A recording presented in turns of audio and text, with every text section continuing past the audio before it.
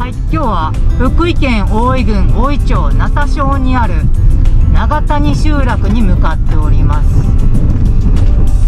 この集落はダム計画が持ち上がり移住を迫られて廃村につながった集落なのですが結果的にダム計画は白紙となり現在も建物が残っているということで現地に向かっております。はいそれでは Google Earth で場所の方を見ていきましょうう。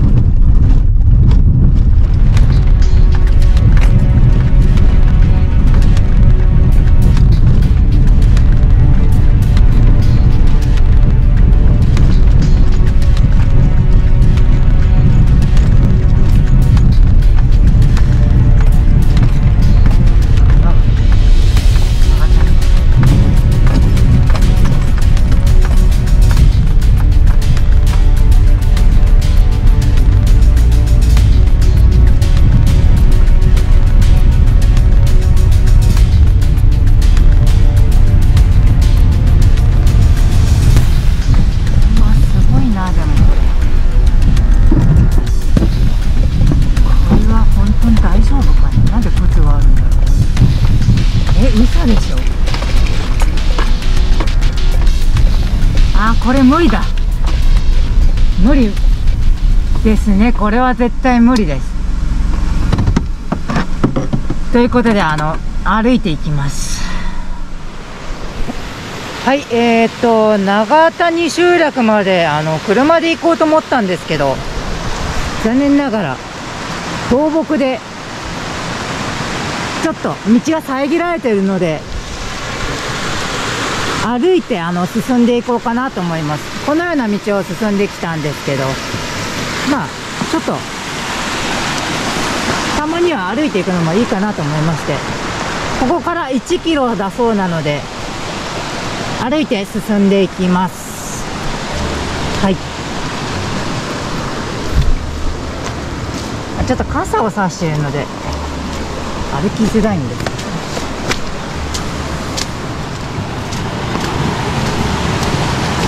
うん倒木がすごいですね。これは車でもバイクでも少しでちょっと無理があるかもしれません。まあ渓流はかなり綺麗なんですけどこの川。まあ、沢ですね、まあ、他の方はまあ普通に歩いて行かれてたので他の方っていうのは他の動画を上げてられている方ですね。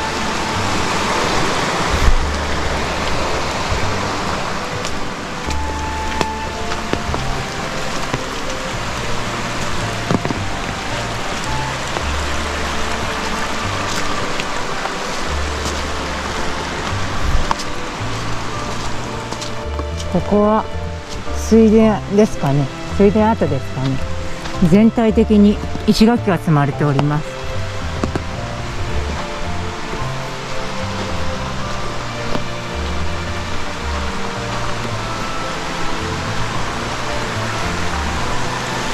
おそらく水田跡ですねあの川がそこに流れてるということは川というより沢が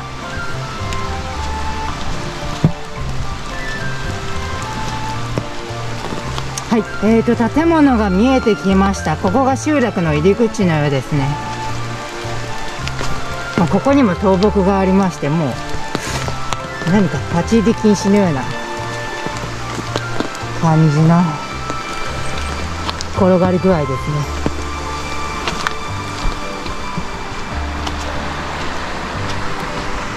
はい、え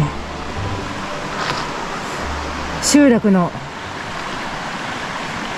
入り口から少し歩きまして、えー建物数軒見えてきましたこの辺からあのジンバルに切り替えて進んでいこうかなと思いますはいえー、と長谷集落に到着しまして、えー一応一通り集落全体を見てきました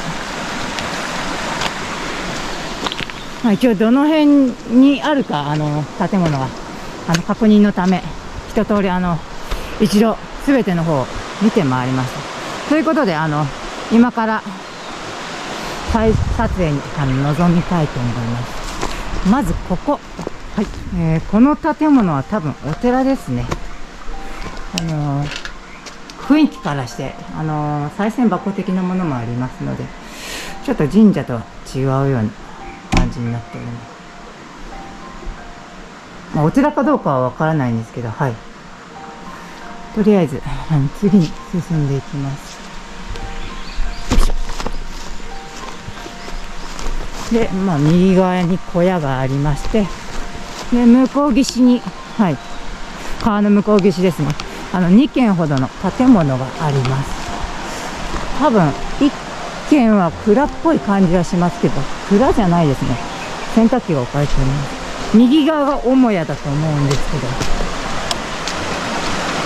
まあちょっとあの、ここ、川がありまして、向こう岸の方にあの、渡れないので、まあ、どこかからあの渡ろうかなと思っております。多分ここに橋が架けられてたんじゃないかなと思うんですけど丸太がありますので。はい。でここ。あのはい。関電の電発に反対、えー、長谷部落って書いてありますね。まあここ、まあ、ダムによって沈むはずだったあの集落なんですけど、まあ、ダム反対運動があって結局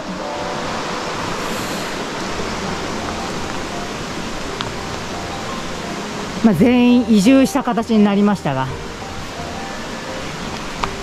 そしてここにあの、パソコンですね。パソコンがあります。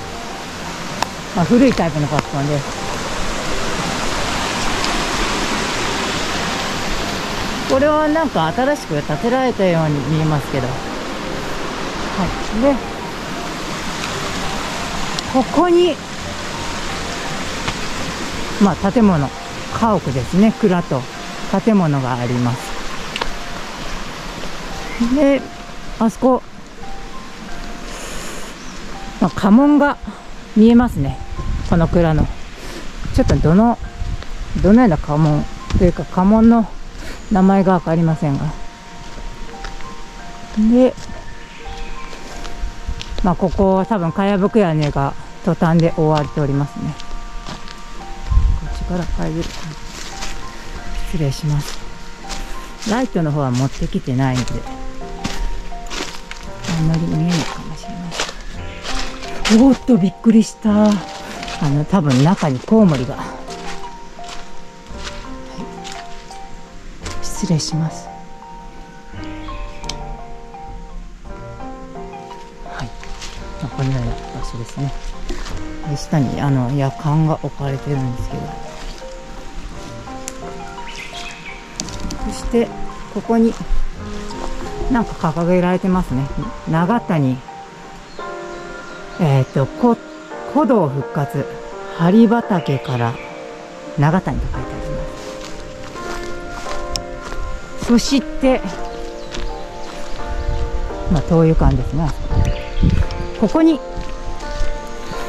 あの神社がありまして何神社かよくわからないんですけどこちらからまあここ祠がありましてこの上に神社があります。この道は多分あの寺みたいなんですけどここですね。寺とあの神社が確か隣り合わせだったというのみたいな気がします。おそらくこっち側が寺ですね。これを見たらわからない。まああそこに社殿が見えます。あっち側はまだあの半壊状態でまだ残ってますね。ちょっと寂しいですけど。とりあえずあの向こう側に行ってみたいと思います。ここに道路記念碑と書かれてあります。まあ昔はもちろんここ道路はなかったんでしょうけど。道路ができた際にこの石碑を建てたんじゃないかと思いますで右側の社殿の右側には川が流れておりますはいまあここちょっとまあ、注意書きがありまして、境内地社殿への立ち入り禁止、社殿の崩落の恐れがあり大変危険です。境内地内に許可なく立ち入り、怪我された場合の責任は一切負いませんということで、鴨神社ですね。ちょっとだけ、あの、入らせていただこうと思います。左側にあの、建物あるんですけど、もしかしたらここが、シャム的だった場所かもしれません。で、ここに、あの、はい。灯籠的なもの。ありましたよ。ここ、灯籠ですね。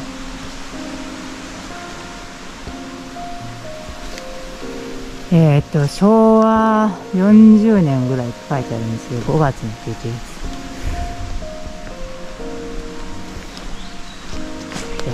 両の方に行ってみます。ここですね。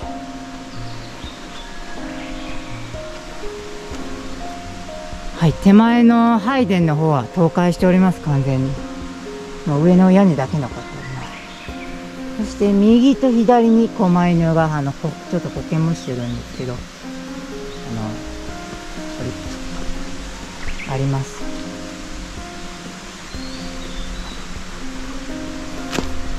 そしてここですね。あの社殿の方。本殿の方になると思うんですけど崩れるんでまだ残っております。まあこの神社のご神体も確か移動したというのはあの見た覚えがあります、はい、なのでまあ神様自体はもうあの移動してるみたいなので問題はなさそうです、では次に進んでいきます。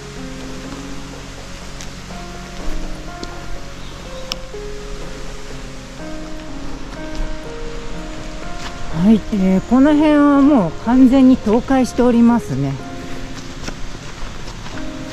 もしあのダム計画がなければここの集落の方々は穏やかにあの暮らされていったと思うんですけどもう今はこのように完全に朽ちてしまっている状態ですね。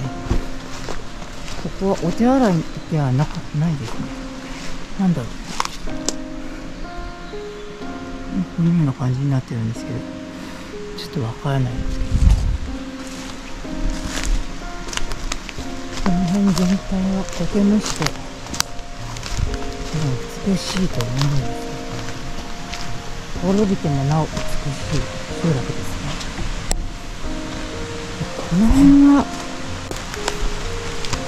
おそらくブランコがあったんですよねここに。ちょっとブランコ自体の。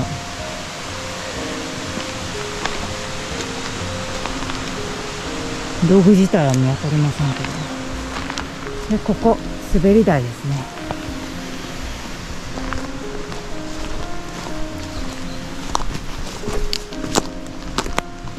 先に進みます。はい。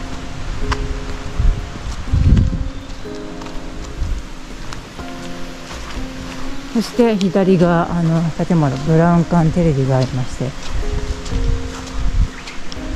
倉庫のような場所に。えっ、ー、とここはなんかかまどっぽい感じの場所ですよね。ですね。かまどっぽいですねここは。ここからあの火を入れて多分上にこの鍋とか置くんじゃないかなと思います。はい。そうですね。ここから火を入れるんでしょうね多分。でここはあの浴槽みたいですね。見た限りではあの浴槽のタイルっぽい感じがありますので。そしてここはもう建物自体があったと思うんですけどかやぶき屋根のトタンで覆われてもう倒壊はしているようです。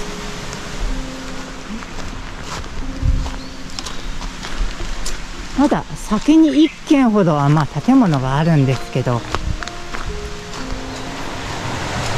ちょっと向こう岸にはあの渡らないんですけどここからあの見えますねあそこ小屋が多分まあ一番奥の建物に来たんじゃないかなと思います。一旦引き返します。はい。えー、っと社殿の方まで戻ってきました。神社ですね。でこの場所に今おります。そしてここからあのー、向こう岸に渡れそうなので。ちょっと行ってみたいと思います。ここなんか下駄がまだありまして。まだいらっしゃるような感じの家屋ですね。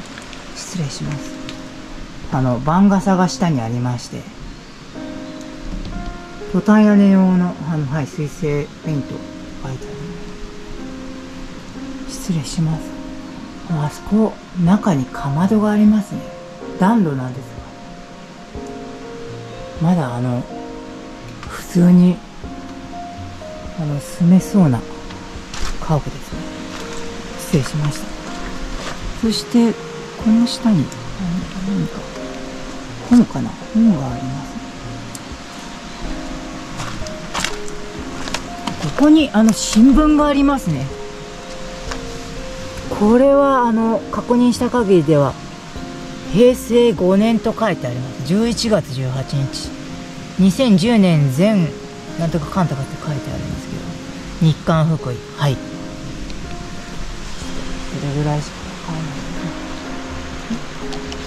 ね反対はこのような感じになってる？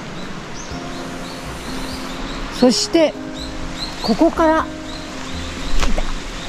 ごめん。あの階段がありましてこの下に。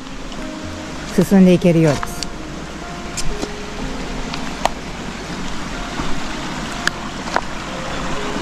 でここ川が流れておりましてこの辺から渡っていけそうですね。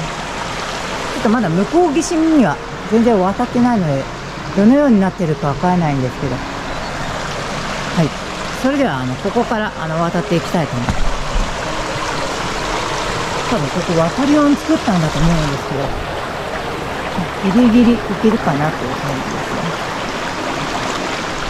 よいしょはい渡りましたなんとかここですね今来た道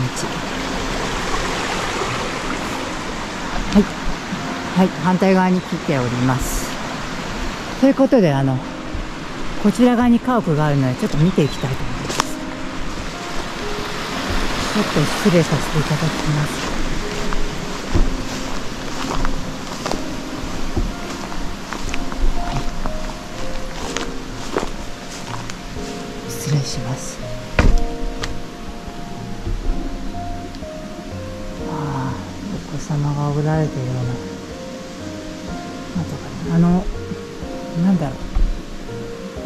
ござというんですかね。昔ながらのあの古い古い建物っていうより昔の感じの匂いがします。あのちょっと心地いいようなえー、畳の匂いですかね。失礼します。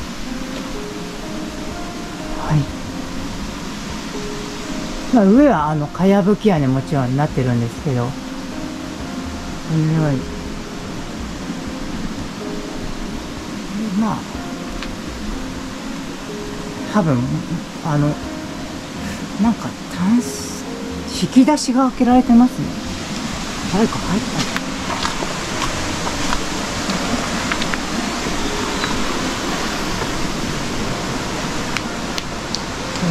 多分2階もあるみたいですねこれを見る限りで。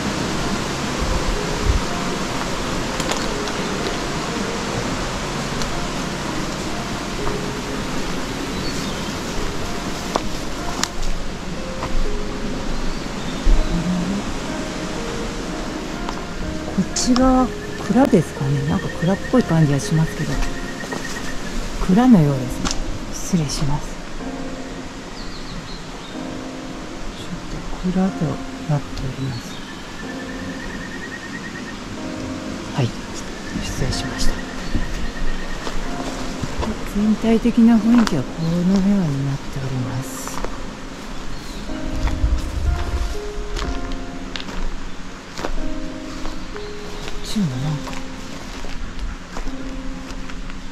きい建物です。ねここは？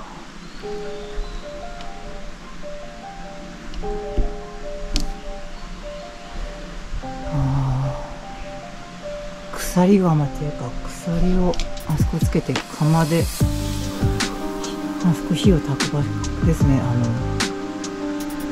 いろり的な場所でしょうか。はい。これでまあこれで一応全体は見たと思います。なのでこれで終了したいと思います。まああの京都に来て5日間のあの旅でしたがここで私の旅路も終わりだと思います。はい。ということでお疲れ様でした。ありがとうございました。それでは失礼します。